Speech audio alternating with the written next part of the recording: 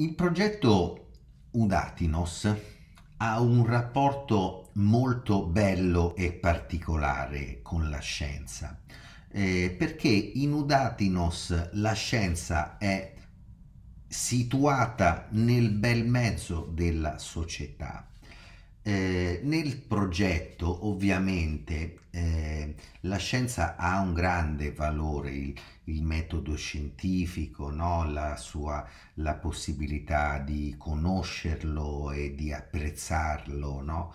e, ehm, e però eh, il posizionamento della scienza è quello che caratterizza eh, questo eh, progetto.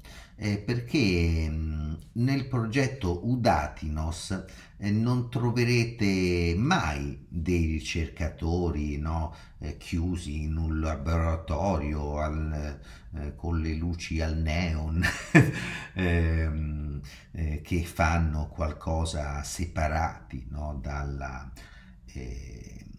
dal resto della società, dal resto della comunità. No?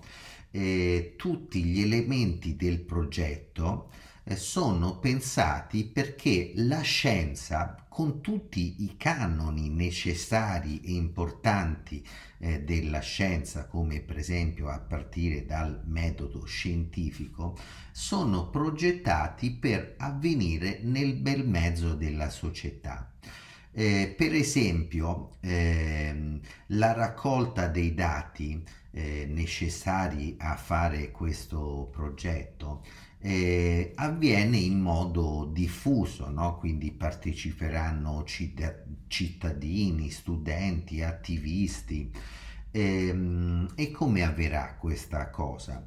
Eh, avverrà per esempio eh, iniziando da un workshop in cui eh, persone che magari non sono mai entrate in contatto col tema eh, dei dati, no? l'avranno sentiti nominare, eh, l'avranno sentiti al telegiornale, i dati dell'Istat, no? Ehm, ma ma magari non avranno mai visto dei dati, ma eh, magari non avranno mai visto eh, come si raccolgono i dati, come eh, si verifica che siano dati di qualità, come si verifica ehm, eh, che siano eh, dati co- coerenti con altri dati che sono eh, stati raccolti dalla persona accanto, no? E, ehm, e quindi eh, cosa stiamo descrivendo?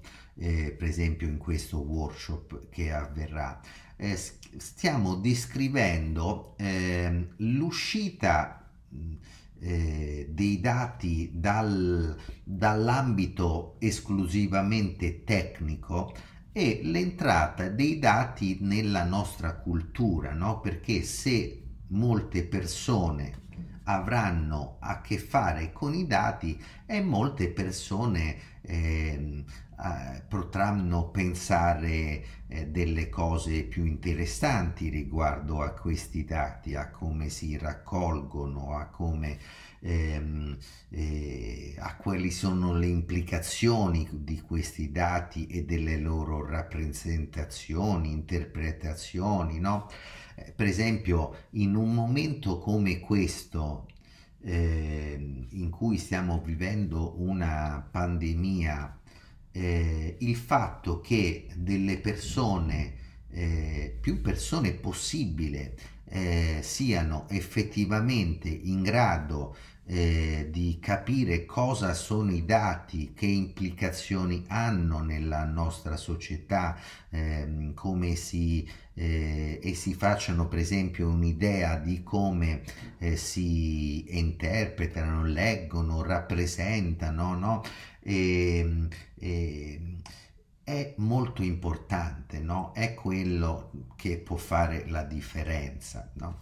E quindi proprio per questo pensiero che abbiamo fatto abbiamo progettato eh, questa, eh, abbiamo progettato l'intero Udatinos in questo modo, no? in questo modo eh, facendo convergere tramite l'arte la scienza, quindi i ricercatori, eh, gli scienziati, la tecnologia, quindi questi sensori, questi ehm, eh, modi di trasformare eh, i dati in visualizzazioni, ehm, in eh, suoni, in eh, no, rappresentazioni visive e ehm, la città, la società, le comunità, no?